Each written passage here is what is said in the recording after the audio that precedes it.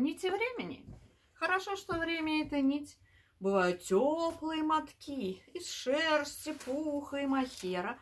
Бывают прохладные шелка и льна. Бывают леденящие мотки из металла, а бывают просто неприятные из пластика. Хорошо, что у нас есть выбор. В разных жизненных ситуациях мы можем выбирать пряжу времени.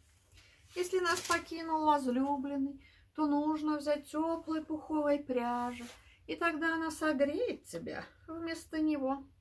Если ты захвачен страстью или борьбой, то можно взять шелковой или льняной пряжи и охладить свой пыл.